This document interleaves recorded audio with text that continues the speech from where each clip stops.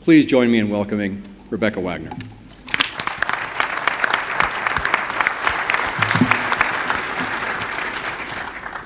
After going through my resume, it sounds like I have some kind of attention deficit disorder and I couldn't quite figure out what I wanted to do.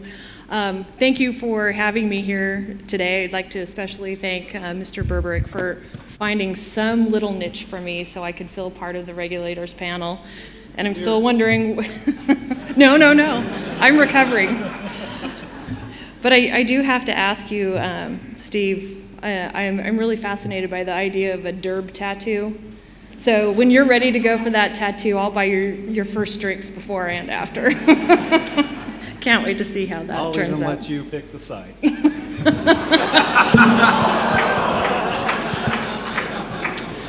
I'm going to let that one go.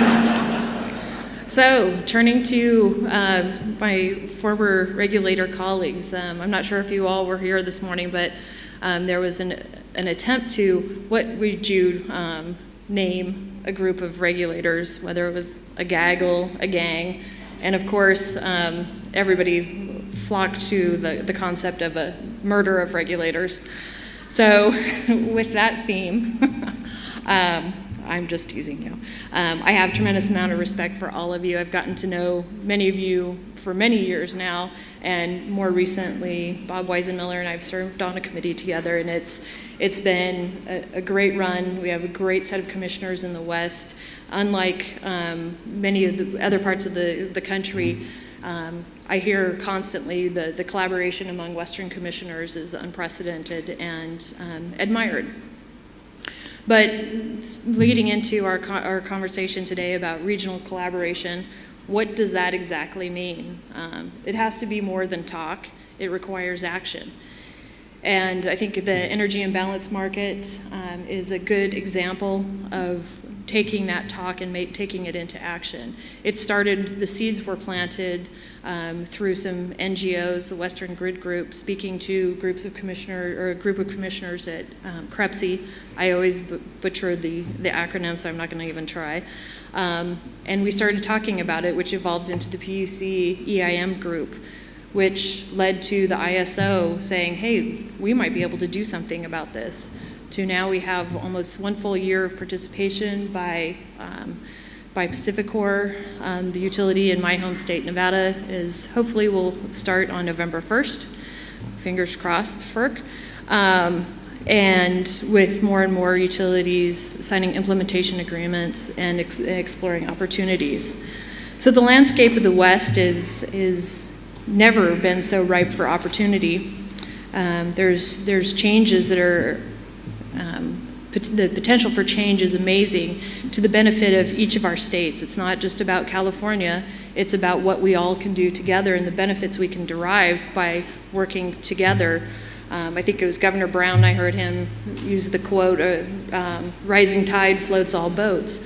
It's economic interests in states like mine with vast renewables, and it's about our consumers ultimately. How, how can they benefit and what we need to get past is our preconceived notions, both from inside California looking out and outside California looking in.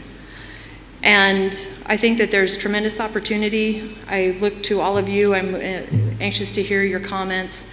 Um, how are you going to rise to this challenge? Are you going to stand back and, and be skeptical and, and let the wave ride by? Or are you going to stand up, do what's best for your consumers, um, whatever um, uh, climate change um, goals that you have or you don't have. I mean, there's, there's boundless opportunities um, in all aspects of our new energy landscape.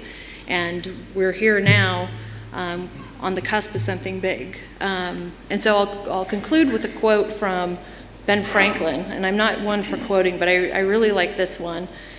And he said, I think was prior to um, signing the um, Declaration of Independence, that we must indeed all hang together, or most assuredly, we shall all hang together. So, with that,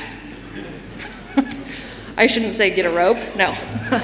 I will turn it over to Mr. Danner to, uh, to take you through your torture, and I hope all of you don't drink too much water while you're up here because it's a long haul.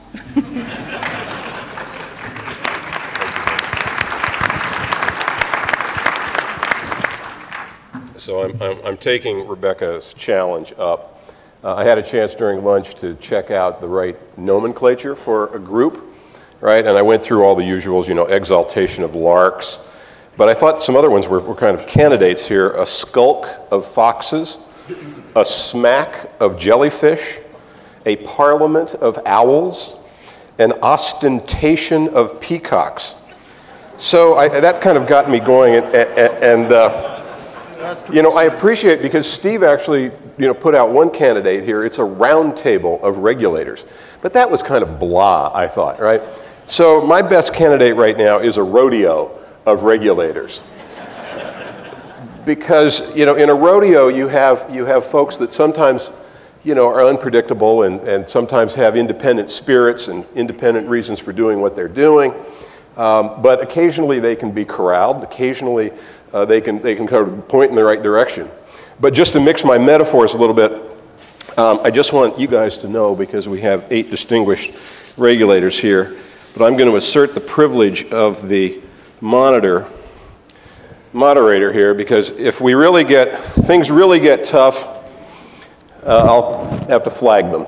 So, first of all, let's, let's welcome the eight of our distinguished commissioners and regulators. Phil Jones from Washington, John Savage from Oregon, Mary Nichols, Steve Berberich, Bob Weisenmiller, and Michael Picker from California, Susan Bitter Smith from Arizona, and Travis Kavulla from Montana. Let me start with the most basic question of all about this issue of regionalization. Are you guys together on this? Do you have a clear notion that you've all kind of signed up for about what regionalization means and where it should go? How about if we start with uh, Mr. Weisenmiller? Thanks, thanks, John. I think the, the basic question for all of us is that there has been a long history throughout the West, going back to the late 60s, early 70s, for regional uh, arrangements, which have, we've done inter, you know, massive interties, we've done trading, and we've used the diversity of loads and diversity of resources to really benefit all of us. And it's been a, a, real, I remember in the 80s when, when BPA spent a lot of time on the westwide vision. You know, the notion that, again, together we're much better off than individually. Now, having said that, looking going forward, so looking at the past, we have a long tradition. But going forward, we have to look to the challenges uh, and the opportunities. Now, in terms of the challenges, obviously, some of us are very concerned on the issue of climate change and uh, implications of that for what it means for our citizens and for our state.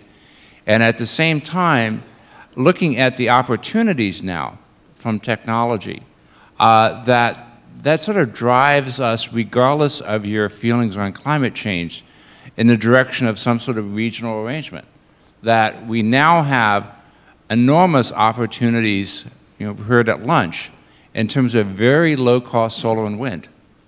And those opportunities are intermittent, which means we have to look at how to deal with the intermittency. And the key approaches to deal with intermittency are really shorter and shorter dispatch periods and larger geographical regions to smooth that out. And that means you need a framework such as what the CalISO has in place to really move much more to the grid of the 21st century. So really we're looking at an opportunity here which provides enormous economic benefits across the West and at the same time can really utilize the technology changes and of course thinking out of the next 10 or 15 years, what's the additional technology change we're going to see in the areas of computers, in the areas of sensors, in the areas of energy efficiency and renewables. Again, this is a way to really unlock that technological innovation. So, Susan, are you on board? What's your view? Do you think you're in agreement with everybody else on this panel? I'm still trying to figure out whether I'm a peacock or an owl. But once we determine that, I, I think the answer is a big maybe. I think all of us uh, up front know that there is a necessity to have these conversations. Um, And as Bob indicated, there's some obvious connectivity that will be beneficial to ratepayers. And there's, and there's certainly a history of us working together, not only on energy issues, but on other natural resource issues such as water. But there is still the lingering question about these policy, political differences that are indeed um, variable from state to state to state. And I think it's fair to suggest that Arizona's view, potentially policy-wise, on climate change may be just a tad bit different than California's view. Um, and so figuring out how we can continue to work together, recognizing, understanding, and acknowledging those differences is going to be our, our big challenge. Uh, we've come a long way, particularly Arizona, in the last nine months because a year ago this time, I would not have been at this meeting, in fact, wasn't, um, and there was really no indication Arizona was going to be a player regionally in the EIM we are now. And I think that those kinds of uh, reviews and, and opportunities, because they can benefit our ratepayers, uh, will be there for Arizona. But there is this balancing act that's going to have to happen between all of the Western states to be able to recognize, acknowledge, and deal with the political, philosophical differences that happen from state to state to state. Michael, what's your take on this one? Are you all pulling in the same direction, or are there fundamental differences, do you think, among the states? First, a quick shout out to Ruth Cox, who was until recently the Region 9 Director of the General Services Administration of the federal government. Hundreds of uh, properties in the western United States, dozens and dozens of Class A office buildings, a real steward of, uh, of uh, the environment. Uh, a real loss to the sustainable, real, sustainable real estate industry, but she's joining us in the private sector. So my answer to you, whatever your question is, Ruth, is no. I, I, think that with 150 years of unbroken cooperation and comedy around uh, water issues, I can't see why we shouldn't be able to replicate that here. it should be. We'll drink to that. I, I, you know, I can't even say that I'm, I'm, I'm totally on board with my other five commissioners on everything. So I think it's, it's really kind of a stretch to say we're totally on board. I think we all realize that in this day and age, there's common issues and there's some, some common interests, but really different approaches, really different statutory requirements, really different political contexts. So it's, it's up to us to try to weave it together.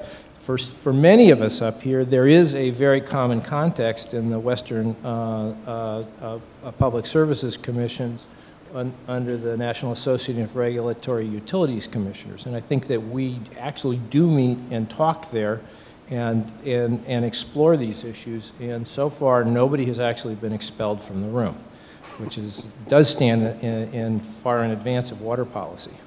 Travis, how do you see this issue of convergence of the vision of what Western regionalization might, might mean here? Well, Maybe, maybe let's back up and take it from almost a more mundane perspective, I think. You, you heard before, earlier this morning, about the dozens of balancing authorities that exist in the, in the Western interconnection for electricity. And what that practically means is that for some of the small balancing authorities, the ones that are in Montana or Idaho or uh, Wyoming, for instance, uh, when you've got a schedule of renewable energy that those BAs are responsible to integrate, let's just say 1,000 megawatts predicted to be online uh, on average over a particular hour in Idaho, and the same amount, 1,000 megawatts online in Montana, if one of them drops down suddenly to 900 and the other overproduces 1100, um, one gas plant is going to back off in one of those BAs while another gas plant ramps on uh, in the other balancing authority. If you either consolidate balancing authorities uh, or if you join them together through a real-time energy market and fully use the infrastructure that you're already paying for, one way or another, regardless of how efficiently or inefficiently it's used, you don't have to have any movement of those thermal generations. It's uh, renewables balancing out one another uh, on a sub-hourly time increment. And I don't think in many other industries we would actually tolerate the latent inefficiencies of the grid like we do in the electric industry sector, which sometimes resembles uh, an airline that's unable to clear its standby list. You know, a, a lot of other places in the world have managed to solve this problem. A lot of other places in the United States have managed to solve this problem. Um, and I think it's time for us to solve one, uh, it as well. Obviously, this conversation is shot through with politics, but I guess I'd just give you an example I, I've used in speaking about this before. Imagine if I have a tomato and you have a tomato, and we both agree that it has, you know, the same caloric value, the same vitamin content, the same role in Italian cooking, um, but that you, in addition to agreeing with me on the objective qualities of the tomato and maybe having more than you need and me less than you need, imagine if you also think that there's an inherent value that your tomato or my tomato is organic, whereas I just think the tomato is an ordinary tomato.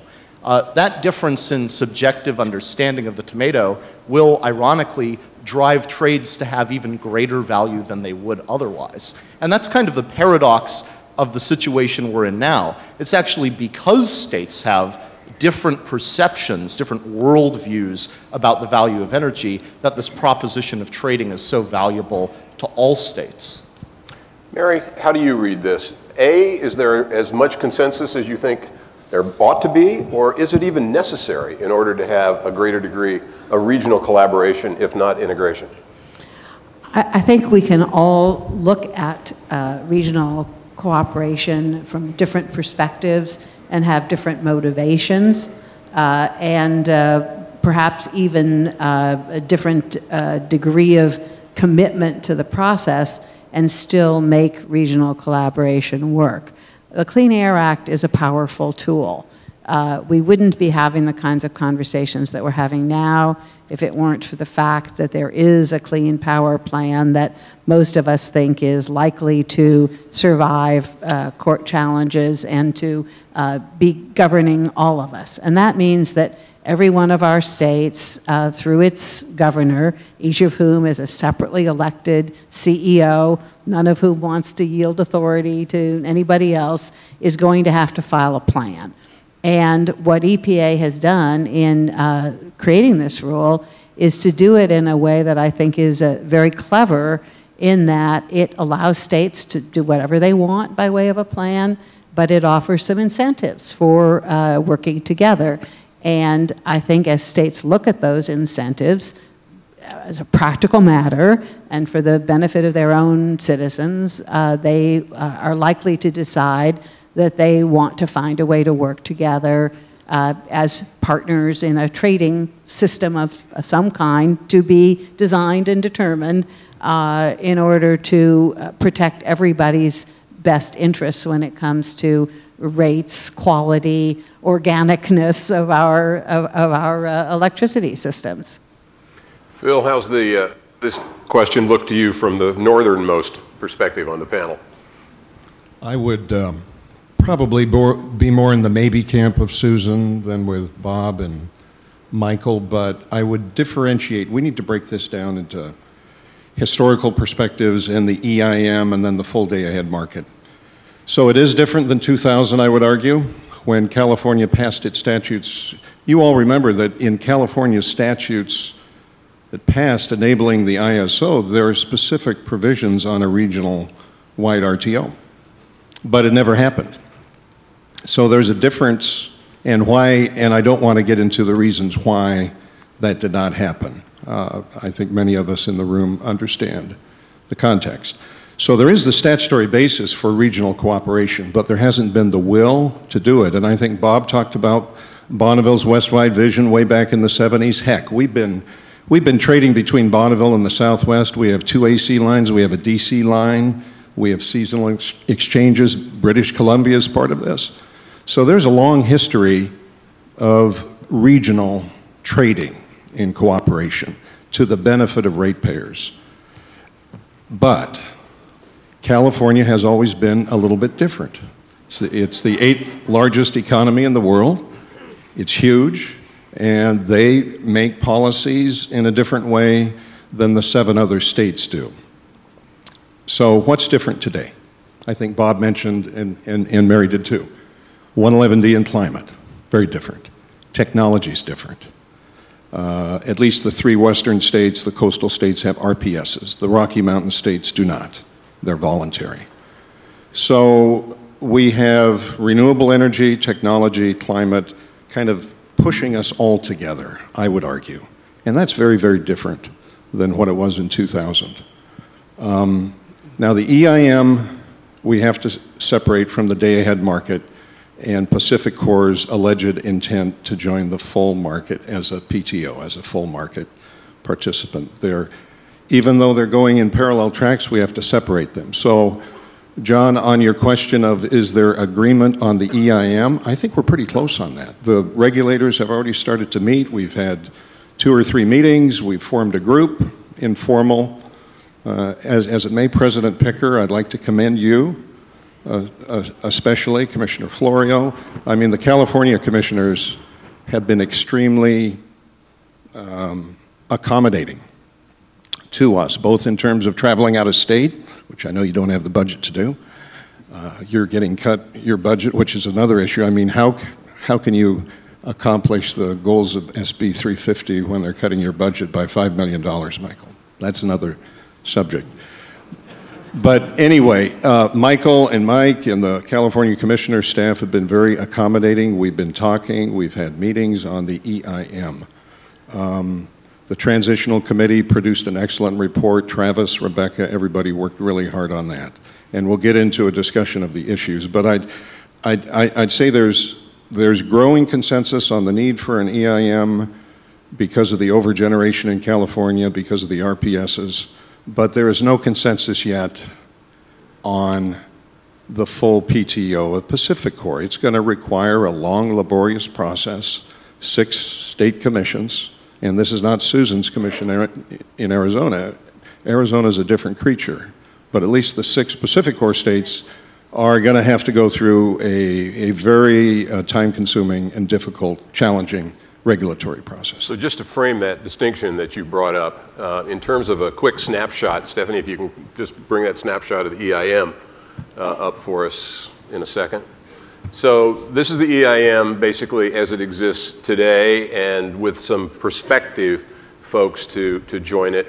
Um, just so people get a sense of, the, of what the patchwork quilt is beginning to look like, whether or not it ends up, to mix my metaphors again, as a coherent picture on the box top of the puzzle or separate puzzle pieces trying to get together, uh, I think it's probably too soon to say. And conversely, thinking ahead to full participation, what that might look like, the kinds of benefits and the kinds of characteristics that might accrue to people in that mode. Stephanie, if you can just switch that next slide. You know, this is the PacifiCorp that you were just talking about uh, and CALISO. Uh, this is what that, footprint, that particular footprint looks like.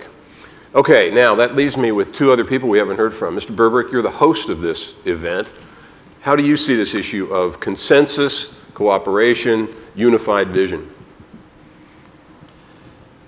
Really, John, I'm not even sure why I'm on this panel. Um, we, we, we had an extra seat and we figured, what the which, heck? Somebody we can, we can all unite against. Well, that's, that was my sense, and it, it raises more extent, existential issues about uh, ostensibly I'm in charge of the ISO. You would think I could manage myself off a panel. Um, and uh, my, uh, my second working theory is very consistent with President Picker, with just gave somebody somebody to pick on. So um, that's fine too. But look, I, I think that uh, Commissioner Jones really kind of defined it well. I think we need to talk about this really. There's an energy imbalance market, then there's potential full participation. But broadly, I know this as states around us have to comply with 111D or some version of the Clean Power Plan, and California always obviously has its ambitious plans. There are intersections. And we can either do this all on our own and spend a whole lot of money, or we can try to tr do this together and save money, I think. And I also think about just the really principled portfolio effect of renewables. I remember uh, Chair Smith, uh, Bitter Smith, when the Super Bowl was in, uh, in Phoenix last year, and I was watching it one morning, and, and it was dark here, but it was light in Phoenix. So the solar comes up obviously earlier in the east in Utah and Arizona and all those areas where California has this large ramp. And we have to fire up gas plants to take care of that ramp. Whereas we could leverage resources out of the state to help with that. And similarly, as Arizona and Nevada have high heat and California's is relatively modest, we all know, and we've talked about it this morning, that we may have overgeneration which I think can benefit um, the surrounding states, both in their compliance, but also from a lowering a cost perspective. But as we do that, um, I think it's incumbent upon us, and I think it's incumbent upon the ISO and those involved with this to be respectful of the jurisdictions that occur in those states, to be flexible to accommodate those jurisdictions in those states and the special needs of them. And that's the approach that we're taking. So I think we have a great intersection at play here. John, Oregon. Okay, I'm going to tell you why Steve's here. Uh, if not for CalISO and not for PacifiCorp, we would not be up here talking about regional coordination. The EIM was dead in the water in 2012. We were leaving money on the table. It is incredibly difficult to get coordination in the West. We, you know, California, I'm sorry, California kind of operates as a, effectively as a nation state. Uh, the rest of the system is balkanized. We've got PMAs, we've got publics, we've got, uh, you know, we've got distrust of markets in California up in Northwest. It is incredibly hard getting coordination. And it was because of that, to me, is, is that, you know, to me, is there's no shortage of ideas. What matters more is execution, and you need smart, persistent champions like them to execute. Now we have before us something that, with an initial benefit of 3.4 to 9.1 billion dollars, how long are we going to leave that on the table? Is the issue. So the EIM report that I'm holding in my hand here uh, refers and gives the backdrop to that 3.4 to 9 billion dollar net present value over 20 years. That's the PAC integration report, not EIM. I- I'm, s- the PAC integration report, my, my, my apologies. That's why I'm here. All right, thank you. We, you know, Get your acronyms every right. panel needs a librarian, can I just say that?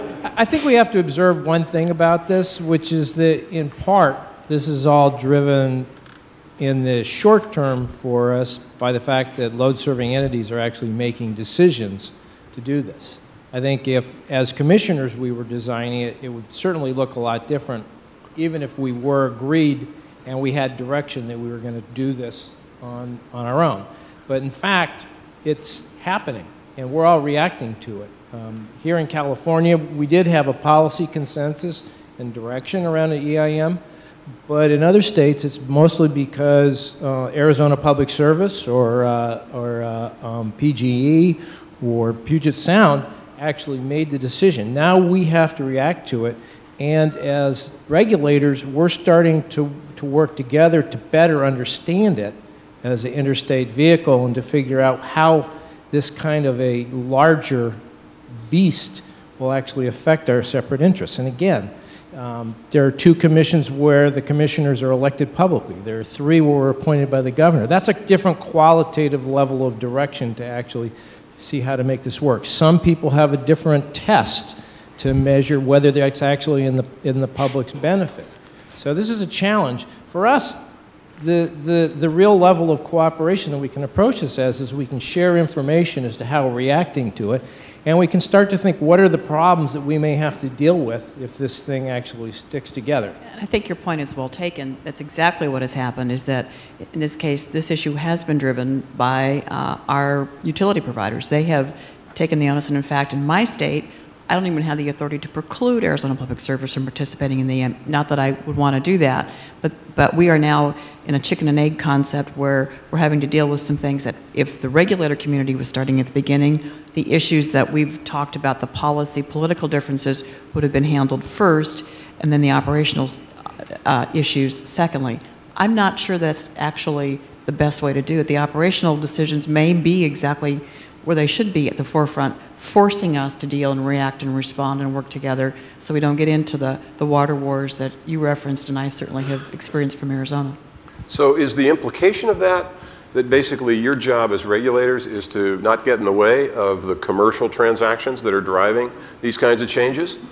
Depends upon I just say that uh, perhaps on behalf of some of you in the audience. I mean, in, in large part, you know, it depends in my new role as a regulator as to whether it's really in the ratepayers' benefits and whether the, it serves the system and therefore serves the, the benefit of the ratepayer. You know, we, we have a plan due to US EPA that says how we're going to meet some fairly aggressive targets for carbon reduction in the electric utility sector in each one of our states. And every state has to look at their own system.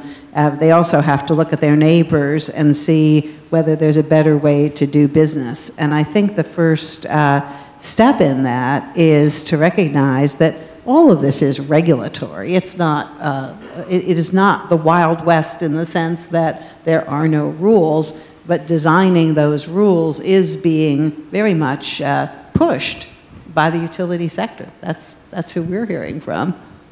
I think, John, um, the job of a regulator is not to be a legislator. So we do not go out and set policy. Travis is elected, I'm appointed. There could be a difference between us, as Michael said. But our job is to call balls, balls and strikes, to regulate rates, terms and conditions of affordable electric service in the public interest.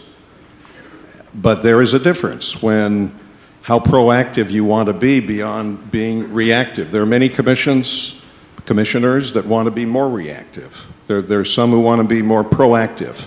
I think what John was saying is absolutely, absolutely right. In CREPC and in the Western Interconnection, we've been talking about an EIM for what, uh, six years? five years, and as John said, it was dead in the water. I mean, Jason Marks of New Mexico did great work. Travis has done great work. But until you get a critical mass of utilities and transmission owners saying, let's go do it, for these reasons, it probably ain't going to happen. And that's what's happened. So we are more reactive than proactive, although within CREPC and other policy-making forums, and as Mary said, 111D is forcing us to do a lot of things that we probably didn't contemplate five years ago. So it's kind of a balance between proactive and reactive. John, can I make an observation? PacifiCorp is going to have to, if they bring forth a proposal, they're going to have to make a case, they're going to have to show, make their case that the benefits exceed the cost for customers. Our client here is the customers. Uh, and we're going to do, and they can attest, at least in Oregon, our review is very rigorous. We're going to make we're going to make sure that we believe every cost number that they give us. To, that we believe every benefit number, and that we look at the expected risks. That part of the cost calculus is the expected risks of, of a proposition like this. But once we're there, if they make their case, it's good to go. And I would just add, John, that, that as an elected commissioner, um, and remember in Arizona, most commissioners are going to be of the majority party, which happens to be Republican. So understand that typically you would not have elected commissioners who are attempting to stop pro-business opportunities. But the reality is, in this particular instance, this is one that was that's interesting because there is not a great political push from Arizona residents to do anything that would tie them to California. No offense, that's just not, that, that's not a good campaign speech for me. So this, in this case, with APS taking the, the forward thrust, it forces us, in a sense, to be responsive, which is not the normal role for an elected commissioner in Arizona. In this case, though, I think it was a great step for us to be more broad-minded, to have the conversations that clearly we need to have because there's been a demonstrated need and a benefit for our ratepayers. That's the important element. As John says, at the end of the day, that's what my job is, is to benefit ratepayers and make sure we have good, solid operating utilities. So, so given the reality of Caliphobia, uh, if you will, um, what are the implications of that in terms of the kind of governance principles? And I use governance with a small g for now because I'm not presuming that there's any particular kind of entity, whether it's an EIM or what have you. But what are the first principles that each of you would see as a way to accommodate the variety of your state interests, the difference of your constitutional, statutory, and elected authority on the one hand, but under this broad tent of either whether you're forced into it because of 111D or because you're voluntarily entering into it because of GHG uh, concerns and the like. What are the first principles that you think ought to be in mind here as you move towards a greater degree of regional collaboration? And I use that term advisedly too. What are some of your thoughts on that? I, I think the first things we have to look at are we need some sort of more regional governance approach, and that gets to basically through the region involvement in the selection of the board. Now, the board has to be an independent board. It has to be of the, the caliber of the current board. Uh, you know, it, but it has to be seen as something with a regional perspective. And that entity also has to be prepared to deal with, on the one hand, there are federal requirements at FERC. I mean, this ultimately, it will be a FERC-regulated entity that it's got to comply with, but it also has to deal with complying with the legislative and policy directions of each state, which are, which are going to be different, but at the end of the day, this entity has to comply with both the federal and state and the different sta- state regulations uh, and not make people feel like somehow California law is going to reign throughout the West. It's got to respect the differences of the various regions. How do the rest of you see this? What, what are the principles here? Well, I think the first know, principle is just it's got to pass muster with six other states. And is that, does that end up being, in effect, a lowest common denominator? That's going to be the most common denominator because everybody's got a veto. So I mean, I, I, we, I can talk high-level principles, but I'm going to tell you that it, ultimately it's going to come down to all six states and California are going to have to find it acceptable. So I don't know what that is. Just I hope we find it. Phil? And, and I think, John, we need to break it down to, in, into EIM board and if PAC is successful, let's take 2018, they join as a PTO, a revised board. You have to break it down too. I, I think we'll get some good experience with governance with the EIM board, with this new governance body that the transition committee kind of outlined. It's going to be a five-member body, so you'll have five on the EIM, five on the CAISO board. But strict numbers are eight states, five per state, a 40-member board. I mean, that's not workable. That's a whole, that's a whole Yeah, other no. noun, a, a, a body looking for a noun. But if you read section, conflagration comes to mind, but I'm not quite sure about that. but the people in this audience know California statutes better than I do, but I read it before this meeting. I think it's section 339 or 7 says, it's, it's pretty clear. The board of the ISO shall be, shall be appointed by the governor of California, subject to confirmation by the Senate. That's not going to work in Arizona. That's not going to work in my state or Oregon. So, so if we, the EIM board is going to be different, you know, it's going to be, we're all, we're, we're, we're going to submit, the regulators are going to submit, submit somebody to serve on the nominating committee, and hopefully in the first or second quarter of 2016, the EIM board will start working and then have to deal with the CAISO board, the CAISO staff. But ultimately, if you're talking about the end game here, there has to be, I think, as John said, a much bigger conversation. It has to pass muster with six other governors or seven, legislators, commissions, state energy offices, anybody involved in state energy policy in the neighboring BAs and adjacent states. It's going to have to pass, pass muster.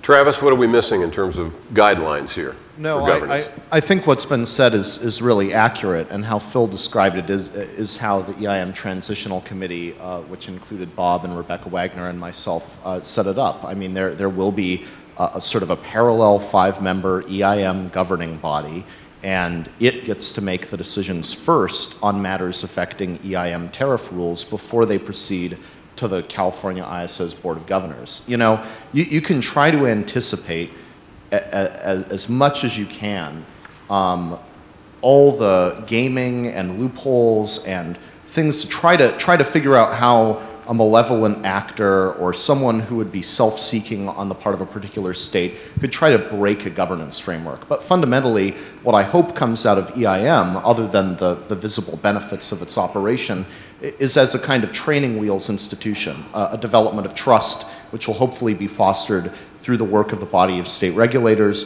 through the relationship of this independent EIM board with the ISO Board of Governors. Uh, you know, fundamentally, a lot of the conversations I've had, we've, we've produced in the, in the scope of the work of CREPC, which, which John leads, and the PUC EIM group, and E3's work with all of the benefit studies that have been produced for EIM entities, we have a bevy of studies that show there are operational efficiencies on the table. And that's what led regulators to be interested in this in the first place, that you kept seeing production cost model results that showed you how the West was supposed to operate if transmission assets were utilized to their full engineering capacity, and yet that's not how the West operated. We continually uh, performed with a higher overall system cost than in the so-called efficient case. And so, but, but whenever you delivered those results to certain parties throughout the West, it would be a debate between the quantitative results of these models and the objection to it would say would be fundamentally qualitative. That I won't get in bed with California.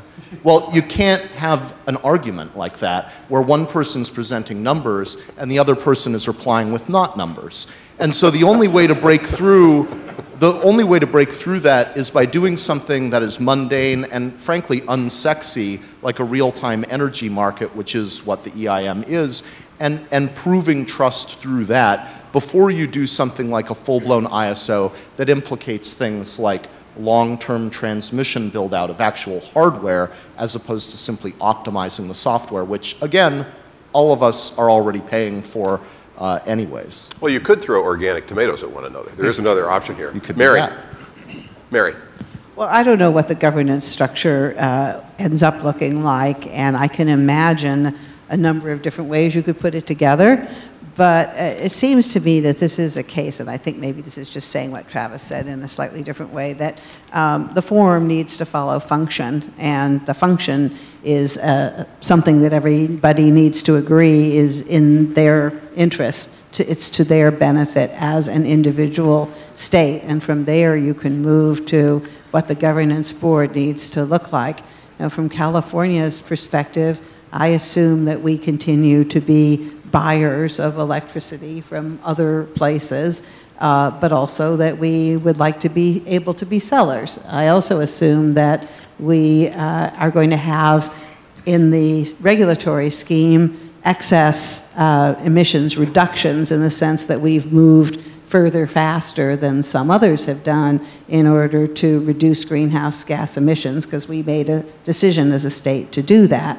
Uh, so our ratepayers have already invested in that. Our public has already invested in that, and we don't want to have to uh, just give those to everybody else because we want to be friends. But at the same time, we recognize that California always ends up as the biggest player here, uh, to some degree, ending up having to pay more than others do. And that's a reality that I think is already um, well absorbed and well understood uh, by, by our decision makers here. So if we were having this conversation 10 years from now, what fundamentally will have changed in terms of both how the grid is organized, who runs it, what it's doing? What's, is there a fundamental change here, or is this all an incremental progress towards something that 10 years from now is going to look more or less like what it is now? Okay, I'm going to give you a forecast. Uh, four years, this will be up and operating. In five years, other utilities will want to join. Seven years from now, we'll say, Jesus, this was a no-brainer. And then in 10 years, now, overlaying all of this, the one thing I, I can't get to is going to be sort of how the distribution system and the transmission system are going to start melding together. And I think there's going to be very uh, sort of gigantic, California's dealing with it now, Hawaii's dealing, dealing with it now. I think the rest of the states eventually will be dealing with it, and I think that's going to be the biggest factor now that I cannot predict in 10 years.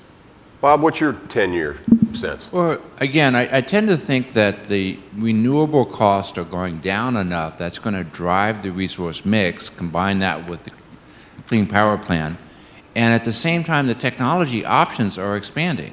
You know, if you think about, you know, we really should be talking about what ISO 3.0 looks like in terms of given the computer capability you're going to have, you know, and, and the sensing te technology we're going to have and the energy demand of sport, you know, there's just, uh, you know, incredible opportunities just over the horizon that we can get to if we can use that enabling technology and come up with the grid of the future that really is based much more around renewables and, and load modification.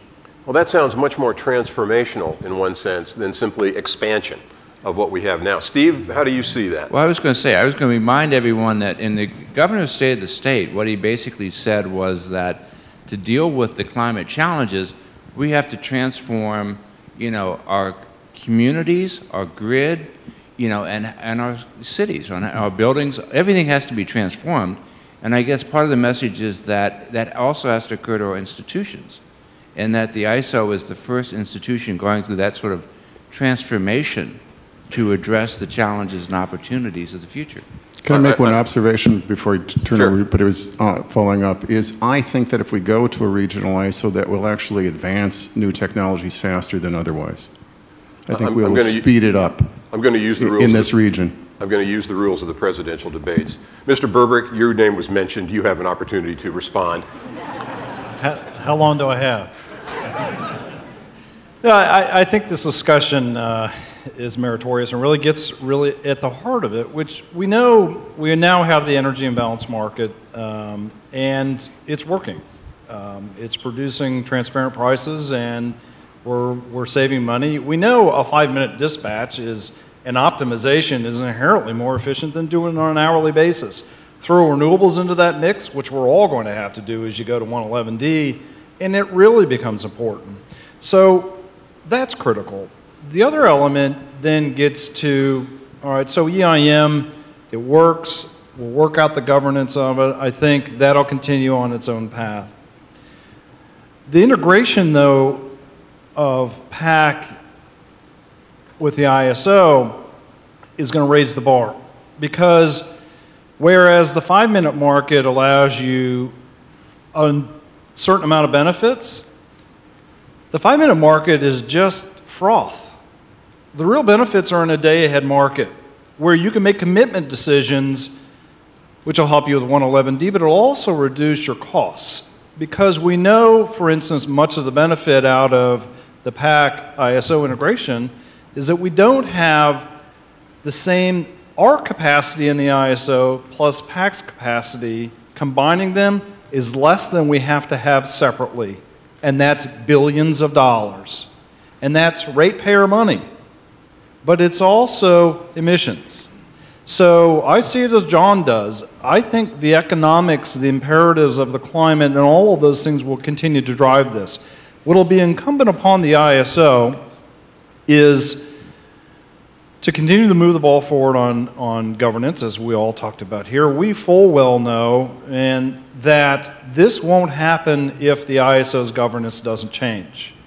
We know that it's not acceptable in Oregon or Arizona or Montana or Washington to have a California govern- uh, uh, dominated governance. So it's a non-starter if that doesn't change, and we know that. So that has to be top of mind. EIM will continue to run with it. We will create as an independent board as we can, and I think we have. And Travis, hats off to you and Rebecca for the work that you've done to do that. I think EIM will continue to prove the value proposition, and I see it unfolding just as John Savage does, which is you can't ignore the money on the table. You can't ignore the climate opportunities as you're trying to comply with these, whether you want to voluntarily comply, whereas California wants to press the ball, or you have to. Um, I think those are the imperatives that we're going to be up against.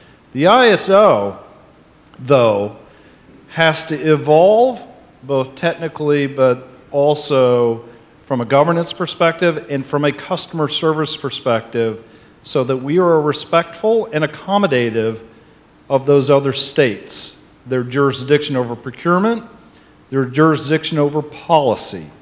And I full well think that we can accommodate those things as we move forward. Michael, what are the uh, ripple effects of this potential move to an ISO 3.0 moving in the direction that Steve laid out vis-a-vis the PUC in California? Again, the, the, by inherent, the inherent role of, of, of regulators is to avoid risk and to maximize benefits. And so we're going to have to balance that. I think that people have described the opportunities, uh, a uh, more efficient uh, uh grid in the West with uh, less uh, waste and cost, Uh, technology innovation, money on, on, the, on the table. So I, I, I think that, that they, all, they are all there. The challenge will be at some point we have to come to, to grips with all those things that we want to avoid and that we fear. And everybody has a different list of things that are inherent in their state political culture that will come up that we have to avoid. And we can do what people always do. You know, if the benefits are great enough, you get in a room and you figure out how to avoid those things that you fear. And at, at the, at, the out, at the end, you actually start moving on it, and, and you've got a structure that you can use to make adjustments. So um, I, I, I, think that it will force us to actually become a little bit more ecumenical and regional in our thinking. I don't usually think too far beyond the California borders. Um, and it's, it, you know, when I do, it, I, I, it's always been Nevada because we have a stronger economic connection because of uh, the, the, the goods movement industry. Um, so we're, we're having to actually start to rethink the way we look at these things. I, I, will say that I have a firm expectation that probably at the end of 10 years, it, the world looks a lot like what John describes, except that we'll all wear sandals and hoodies as business wear. I was, I was struck when I, when I saw the $3.4 billion, $9 billion range over 20 years in terms of net present value. Uh, I just had a chance to look it up. The 9 billion, if you assume the high end of that in terms of an NPV, is about equal to the state budget uh, of, of either Nevada or Montana today. So these are big numbers, obviously. Susan, you were trying to get in earlier. Well, I simply wanted to reiterate what you've just heard from, from Steve and, and Michael and others that this is, this is going to be a new world. The, the encouragement and understanding that this has to be a more ecumenical approach, the conversations that are happening as a model EIM are very positive for the state that just talked about Caliphobia. Um, I think we're getting all the right signals. Now, we don't have a stake yet, yet in, in ISO governance, but we certainly do in EIM. And everything we're hearing is oriented towards the right direction. The, the commentary from the full commission in California, from ISO leadership, from the conversations that have happened in a very short span of time in Arizona have certainly given us all the right indications that we too have to stop saying, well, when we get to the Colorado River after we fight about it, um, that we need to be understanding of how we can work together despite our political and philosophical differences. And I, that's happening in my state. It's happening in California, happening other. And so the, all the signals are very, very positive, in my opinion, to get to that viewpoint that John described from 10 years now, and also deal with the governance challenges and political challenges that certainly will come along the way. So, are there major roadblocks in the way that we haven't talked about? We've talked about the jurisdictional identity, we've talked about the traditions sometimes, the positives and negatives of prior relationships among, among your states. Are there other fundamental obstacles or roadblocks between where we are today and where you see this evolving over the course of the next 10 years? Let me just Steve? say, John, a couple comments. I don't know that they're fundamental roadblocks, but there are definitely things that have to be sorted out. Um, the transmission access charge. Uh, those in California want to make sure that the, they don't get cost allocations from other states. Other states want to make sure they don't get cost allocations from California. So how we finesse that transmission access charge, as an example, is a, is a fundamental issue we'll have to sort out. Resource adequacy issues, making sure that the balancing authorities aren't leaning on one another, states aren't leaning on one another. We'll have to sort through that. But I think, um, just like we've solved any, all, most of the issues that have confronted us so far, I think we'll come to terms with this too. What we'll have to come to terms with, though, from a California perspective, as an example, if we build a line in, in, in uh, Utah that maybe is economic to bring power or policy um, uh, uh, energy into California, that might be a good thing. And that might need to be allocated to California. Similarly, exports out of California perhaps into Nevada. And so we'll have to sort through those things, but uh, we're going to start and I'm certain that we'll have good solutions to it. We will do it transparently, and we'll make sure that we attend to each jurisdiction's needs. Phil? Just to list a few challenges, and these are just in the non opportunities. We've been talking a lot about benefits. Uh, you have something called Bonneville in the Northwest, the Bonneville Power Administration. It is not going to under its statutory rules and our congressional delegation, there is no way that it is ever going to join the CAISO. But there are significant operational efficiencies that can be wrung out of the system. And I know Steve and Elliot Mainzer and others are talking frequently, but that is a issue that could create seams issues. If you look at PJM and MISO and the other RTOs, there's a lot of conflict about seams issues. And so seams issues are going to get in the way here a bit. Not, not only at COI, uh, the California-Oregon border, but at Nevada and, and Arizona. The other thing is FERC, FERC jurisdiction. So a lot of my utilities, the, the PUDs and the munis, and I represent all of them as a, as, a, as an appointed energy regulator in the state of Washington, but 55% of my power is delivered by munis, co-ops, PUDs. They do not want FERC jurisdiction. They want things to be uh, regional, uh, maybe work out things with California, but we have a tradition in the Northwest of working things out regionally. They've tried to develop a SCED, Security Constrained Economic Dispatch, uh, through something called the MC Initiative. They have not been successful, but the game ain't over yet. So that could be a, a, a challenge. The other challenge is to our friends in the Rocky Mountain states. As we saw in the graph today from Michael, there's still going to be a significant amount of, of thermal generation, both coal and natural gas. You asked about 10 years. This will go to 2030 or 40. So you're going to have a lot of thermal generation in the system. You're going to have different policies on coal and on the use of natural gas. The Sierra Club has a campaign now against the use of beyond gas. I mean, if they want to take natural gas out, out of our system in the West, that's going to be a big challenge. I mean, coal, maybe, but natural gas, as many of you know, is being used for ramping up and down and helping to balance wind. So those are a few challenges that we haven't talked about yet. Bob, you painted the uh, picture of profound technological innovation on all kinds of different levels. Oftentimes in other industries that translates into lower costs, not just and, and additional efficiency. What do you think the ultimate cost and rate impact of this move to regionalization is likely to have? Well, I think again you have to set up the counterfactual. Either we try to do everything in our own little balancing authorities, with all the reserves and all the reserve requirements with renewables, as Travis said, with intermittent, or we you know, look at those opportunities. And, we, and in fact, every single entity, every balancing authority can go through the experience the Cal ISO went through in terms of developing the software. And you know, the cost difference is enormous uh, between that. And so particularly, I think the technology is there to really empower people going forward. But again, it's just when you, you know, when you look at the basic dynamic with renewables, it's very important to get to shorter and shorter dispatch periods, or else you're going to have larger and larger reserves. And similarly, it's very important to sort of look more regional, or else again, you're going to have larger and larger reserves in every single balancing authority to back that up. And yeah, just the complexity of dealing with you know, the opportunities now, you know, as I said, the technology at this point is really phenomenal, but there are challenges. I mean, that also means on the cybersecurity front, every single balancing authority is going to have to have a really lock solid arrangement.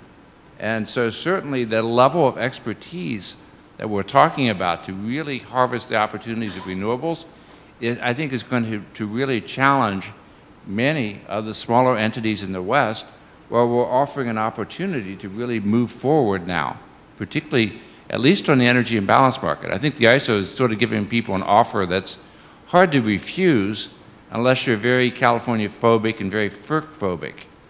But, and certainly there are bigger steps for PAC. But again, I think that the imperatives of the change in the industry really force this type of consolidation. And we, the question challenge for us is do it thoughtfully particularly in terms of the governance issues. I tend to agree that I think the EIM, I believe, under Rebecca's leadership, we came up with a fairly good solution there. Uh, the more, you know, more challenging is going to be the, you know, these overall ultimate governance issues. Travis and then Steve.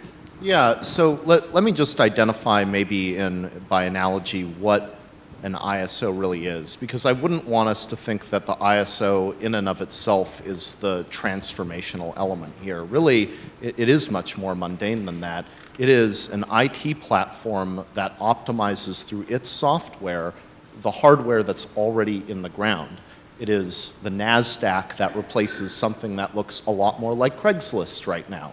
Right. Um, it, it is also uh, a, a tariff, a regulatory instrument that facilitates new build of certain types of hardware, like transmission, which is built in response to identified needs of load-serving entities, to accomplish public policy requirements, and the kind of base case of the benefits that optimization of overlaying that IT platform can deliver for you are things like non-California enti- entities being in a position to be absorptive of overgeneration of renewables by California.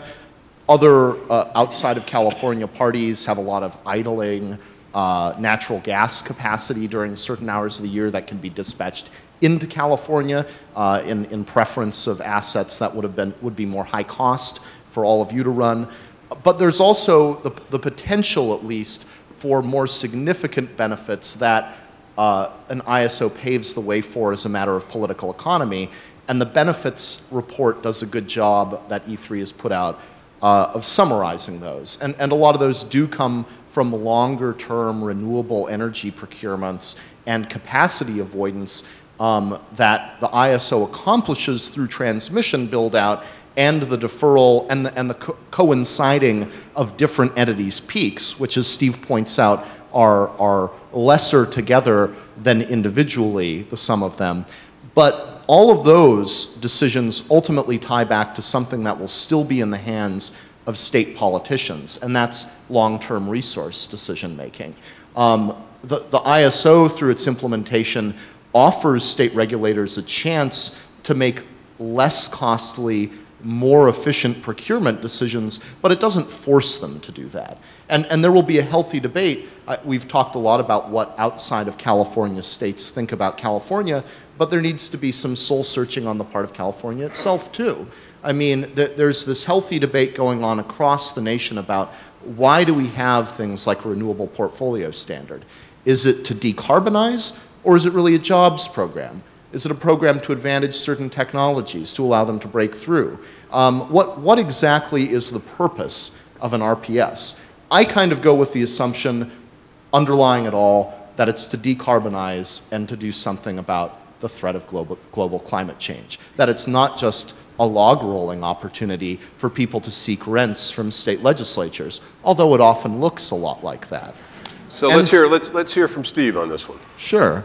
Well, uh, Travis actually uh, channeled me quite well. The, well, the thing I wanted to try to get to, Which but part, I the think Craigslist part or the other part? you pick and choose. Would you like to continue my rant, Steve? I will. Yes, I'll see if I can do my Travis. Yeah, no, Travis. Um, the thing I wanted, I, I think Travis really boiled down the right thing. Really, what we offer is a technology platform. It's a five-minute security constraint optimization, and the thing I want to make sure everybody understands is we spent two hundred million dollars on that. The the cost of entry is really, really high to create these things.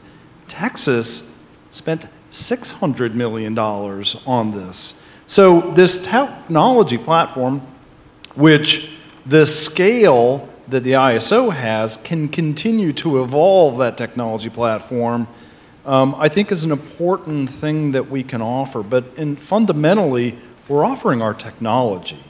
The rest is, is governance and, and tariff and politics, but uh, fundamentally it's technology. So, Mary, we haven't heard from you lately. I was enjoying listening, actually.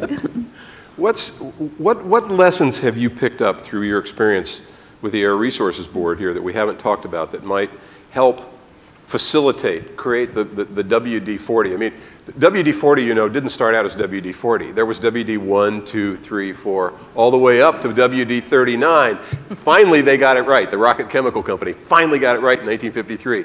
You've been down this path, right? Uh, far longer than many others. What, what other advice Thanks do you have from your John. experience? Well, I, I was thinking about um, the negotiations that led to the successful adoption of California's uh, cap and trade program for greenhouse gases, which does serve as at least one of the uh, inputs to the discussions that people are having here, where we were able to bridge the divide between Northern California, IOU, regulated by the Public Utilities Commission with a very high degree of um, renewable electricity coming from hydro, and Southern California, publicly owned utility with a lot of coal that's the biggest emitter in the state.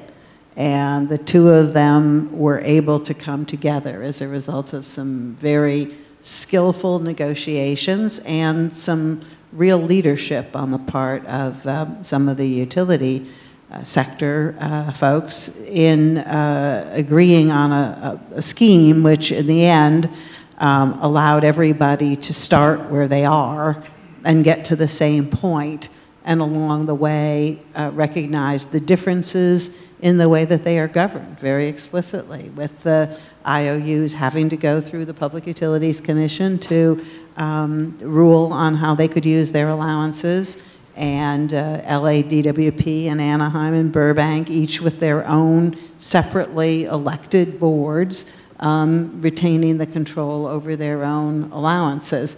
I was thinking about the, the word um, ecumenical, which both uh, Susan and, and Michael used in that context, because I don't think you could get more religiously diverse than IOUs and POUs um, historically, and, um, and yet uh, ultimately at the end of the day, they did recognize that the state was going to go ahead with some kind of a program. They needed to come up with something that was going to work and that they could do it in a way where um, I think it's fair to say that the IOUs were a little more generous to their colleagues than they might have just automatically been, but they needed them in the system. And the POUs recognized that they were going to have to play and they couldn't just walk away. And so they did come together and, and all uh, support uh, the, the rule itself and are now living with it uh, quite successfully. So um, I, I do think that we have experience that shows that in a situation which is maybe not quite as geographically diverse, but in many respects does mirror some of the differences in resource mix and politics uh, that you see uh, represented up here on the stage. Um, that when people decide that they uh, are better off, as you said at the beginning, uh, working together, um, that, that they can find a way to do it. You know, there was one term that uh, we did not talk about in the first panel, and I'm curious about what the view of this panel is on the issue of curtailment. Um, what's, is there a connection here between curtailment as an effective strategy and the push to greater regional collaboration? Those two things best left separate? What's your sense of that? John? We'll take all the negatively priced energy you can give us. You know, negative, negative pricing, negative it's pricing, marginal I love cost. that. I, I love that term, negative pricing. Is that, you mean a bribe? I'm just curious. Steve, how do you see this curtailment? Well, I, uh, let me play off of what, what John said because um, fundamentally I, I, agree with him. And, and as a regulator in, in a surrounding state, uh, why wouldn't you want to have all the cheap energy you could possibly get? Um, as it relates to California and what I, will channel the IOU senior leadership, they would say, well, hang on a second, we're paying for all this capacity. And I would say to them, well, it's better to sell it for something than nothing. And I also know from my economics classes in college, if we can create a market under it, then there may be price support so that instead of selling it for negative 10, maybe we get positive 10, which is still good for California, but also still good for Oregon. So um, this exchange of energy, I think, is a win-win proposition for both of us. If we operate here in California as an island and just curtail all this electricity, it doesn't make any societal, economic, or political sense. It just doesn't. It's wasted. And the kind of energy we're talking about, by 2024, as many of you probably heard me say, we expect to have 13,500 megawatts of overgeneration in certain periods of the year and throughout the year. That's a lot of power. That's more than a lot of the neighboring balancing authorities use. Um, and if it's not negative, it's just going to be curtailed. And I don't think that's the right answer. So um, I think there are win win models as we exchange.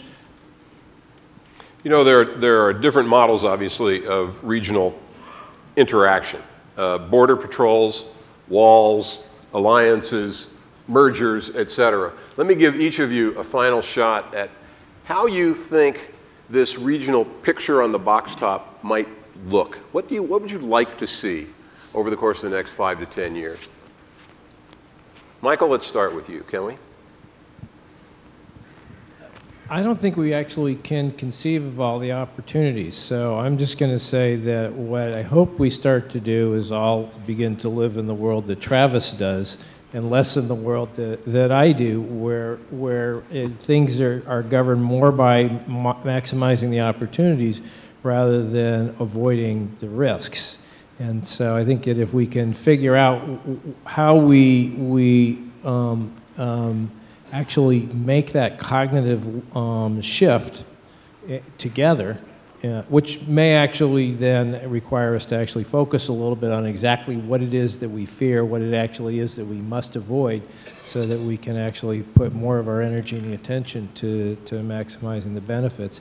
I think that, that, that that's as, as, as good as I can hope for in, in this kind of a, a political exchange. I will say that we are not at the state that we are in terms of water policy. We're in a much better place where I think we do talk to each other, we do see the benefits, and we actually have been able to overcome some of the, the concerns about risk and to protect ourselves. And I think we're looking at further opportunities to do that. But it's, it's not an easy thing to conceive of that. It's easier to either paint a picture of complete ruin or, compu- or complete heaven. Phil? As I said before, I think the EIM is a great start. Travis uh, used the same words as I did, training wheels. So we, so we give it a go on this co-optimization and trying to relieve some of the inefficiencies of the current system. So that, that'll be maybe two or three years. But at the same time, PAC will probably join or intends to join the full ISO. Uh, if that happens, that will be in about three to four years. By that time, we will have a new governance structure. If the thing is going to happen, we're going to have a revised governance structure. I would see more collaboration with the governor's offices. I think Governor Brown's office has reached out to the six governor's energy policy advisors, so that dialogue has begun, which is good. Mary's in the room. We're going to have to get our air quality regulators in the room. It's, it's going to be a bigger discussion, but I would see a revamped board that's probably larger than five members. I would see at least uh, four, five, six members appointed by governors or through some body from other from the surrounding states. I, I hope to see some benefits. We realize that you've invested a lot of money in MRTU and the platform, but if you could have a presence in a state like Utah or Oregon, that already has a lot of energy infrastructure where the ISO could, could set up something like that. It would have visibility there. That might help. Um, what else? We got uh, 111D regulations. We, we have those coming down the pike. Uh, we're probably going to need some new transmission capacity. So that means we're going to have to get our siting authorities involved. If California really goes, this is my personal opinion, if California really goes to 50% RE, you're going to have to bring in more wind and solar from other areas than just within your state. So that would mean building a new transmission line takes about 10 years, eight to 10 years. You know, it's, it's, it's laborious, but I think we're going to need more transmission too. Bob? Well, I, I think fundamentally, again, looking out at, at the issues here, uh, you know, as Travis said, the first thing is it's an IT package. And really, we're looking at that opportunity for folks. So in terms of sort of demonstrating the case on that uh, through EIM and, go and, going forward, I think the technology is really going to drive us. I think it reminds me a lot of project financing deals, where the first thing is everyone in the room would have to decide, is this project really uh, beneficial? And once you decided that, then the whole putting together the ultimate project finance was you decided what was the allocation of benefits, what was the allocation of risk, and how did you mitigate those risks? And come up with a, a, package that basically worked for everyone. And that's the challenge for us. Although I would, would certainly discourage, you know, from any sort of conception that where we want to end up with the board, which is sort of a, you know, we had the original ISO board is more, much larger, it was a stakeholder board, it represented specific interest. And it was a disaster. So I think, again, we have to be looking at something that's more, here's the independent board, which is really reflecting the regional needs, but not necessarily here's the little hat on everyone, uh, which piece they came from. There, there, there's a good first principle there disaster avoidance. I get that. Mary? Yeah. I think we should design the logo first. Well, you've got a candidate around a duck, but I don't think that probably works, works very well. Travis? Yeah, I, I, I think what Rebecca led with, you know, the, from Ben Franklin, better all hang together or we'll hang apart, is a pretty cautionary lesson in the times we're facing here. You know, you've heard a, a bit about the role of, of state utility commissioners, but they also began uh, as a substitute for competition. That's why we're here. The idea that the incumbent monopolies that at one point in time dominated the electric industry uh, were not necessarily prone to seeking out efficiencies, and that we were responsible for making sure that ratepayer dollars that were spent on infrastructure resulted in infrastructure that was fully utilized to its greatest and most efficient degree. Uh, that's, what, that's the principle upon which we have to keep our eyes. John, you were the most specific in your predictions earlier. Anything to add? Well, three things. Um, one, I, I think big, fast, more integrated Western marketplace has many good attributes, particularly as we add more wind and solar to the system, which we're going to do. Uh, second, I have faith that we're going to work through all the issues that Steve laid out in terms of transmission access charge, transmission planning, resource development. I have great faith. Mo- The model I see it after that is that the utilities will accrete. This is kind of like how planetary planets were created, is that they'll, eh, we'll add planet, we'll add utilities. As opposed to sedimentary rock. Yes, right. So we'll add utilities systematically over time, just pretty much as we're doing with the EIM. Steve?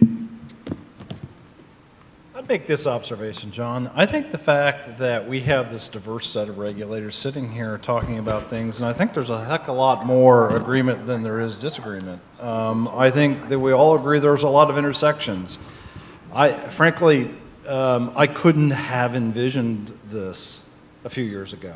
So I think we're moving fast and making some pretty good progress. And just the fact that we're all sitting here together and no one has thrown anything, uh, I'm particularly appreciative that no one sent anything my way. Um, I think is, is a very positive. I haven't even had to wear this yet. Susan, you have the final word. I'd like to echo what, what Michael suggested is the one thing we don't want to have happen is what's happened with water policy, where we're still litigating water compacts from 1936 uh, and never making progress there. And the driver here, the difference here, I think, is exactly what you've heard from everybody else on, on the platform. This is about making sure that we have ratepayers taken care of, and dollars drive good decisions. And I think that's, that's an impetus for all of us being here today. And secondarily, it's different. We do have competitive resource opportunities. And those two elements, I think, will make sure that regulators don't get in the way. Either they're elected or appointed, still they don't get in the way. And I, I, I'm optimistic that I think this conversation can continue and be positive. And again, as Steve just said, example, we're sitting here together and we actually all like each other and talk to each other on a regular basis is a start in the right, the right direction. How about a round of applause for the rodeo of regulators?